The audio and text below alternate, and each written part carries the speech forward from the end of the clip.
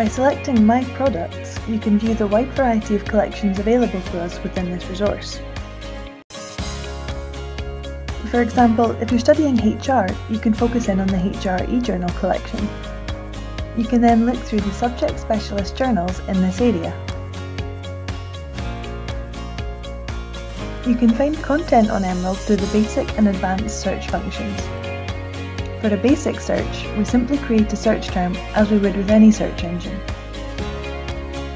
As you can see, the search term photography has yielded up to 4,000 results. We can filter these results by using the tools on the right hand side. It's very useful to select only content I have access to, as this removes all of the resources that are not part of our subscription, and prevents you seeing sources that you can't access, which saves a lot of time. At this point, you can also filter the results by entering a date range, as well as selecting the type of content you'd like to retrieve. As you can see, changing these radically affects the amount of results that your search produces.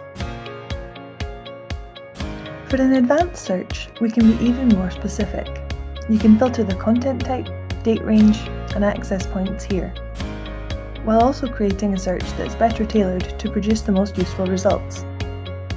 In this example, I want to use all these filters while also making sure that my search term is really relevant by filtering the results so that the term is in the title.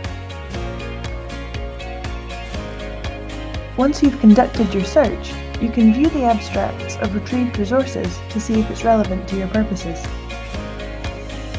If it is, you can click either the DOI or title to access it. From here, you can either read the resource on the web page or open it as a PDF. If you want to access other resources from the same journal, you can do that by clicking on the journal link underneath the title. This video has given you an overview of Emerald eJournals, but if you have any further questions, please contact the library at library at cityofglasgowcollege.ac.uk.